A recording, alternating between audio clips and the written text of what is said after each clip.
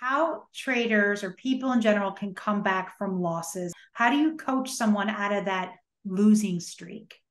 I tell them to feel all their frustration and disappointment and to write it down and like wallow in it, basically. Um, to, it's essentially in my mind, you're kind of burning it out.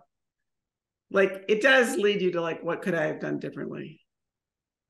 You know, um, but you feel bad, you know, you're embarrassed, you know, you're mad at yourself for making a mistake or whatever. And I think the discomfort of that feeling is meant to turn your attention to what is the thing you could have done to prevent what happened. And if you don't do that, it lingers and it interrupts your confidence. Like the phenomenon of maybe I used to, I could used I used to be able to do this, but maybe I can't do it anymore. Maybe I've mm-hmm. forgotten how to do it. Yes. It's pervasive. Like maybe I was lucky. Maybe I was never as good as people thought I was. Like there's all kinds of things people say.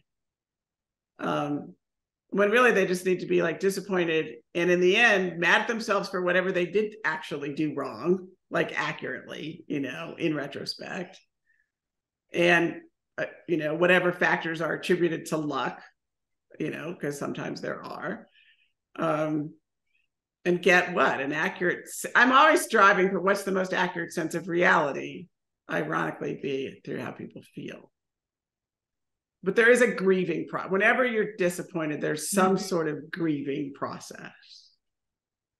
You know, mad in denial, mad at yourself. You know, like I just walk people through it, and and what they find is it's not so bad to feel bad about a thing that didn't go the way you wanted, and it actually shortens it. You know, you think if you really lean into being like mad at yourself or disappointed or whatever, it's going to overtake you and then it's going to last forever, you know, at least weeks to months. And what you find is it lasts for like, you know, hours to days instead of lingering for weeks to months to years.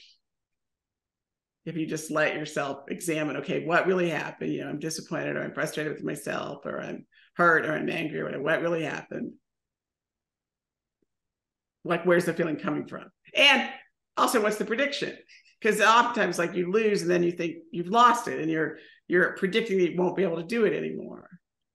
Like you, you're predicting that you can't come back and what that means to you. And that's usually um, exaggerating or amplifying the other feelings. Yes. exactly. Are you making that prediction again which is inaccurate. Um, well you're making it. It's just what is it? And like then mm-hmm. like wait a minute how truthful is that you know thank you so much for that